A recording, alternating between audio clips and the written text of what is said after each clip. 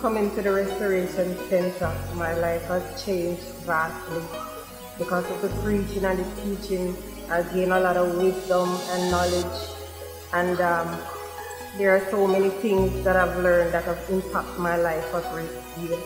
I've learned to be humble, steadfast in God, and so many things I've learned since I've been here. You know, God has been so good to me, and you know, I just want to encourage somebody that just come to the Restoration Center where you can receive the warm love that we have, the mighty move of God, the fellowship of the saints, the loving family. I know your life will not be the same like oh my life has changed. I've had a vast experience in God. So just come on and have a great time and be blessed.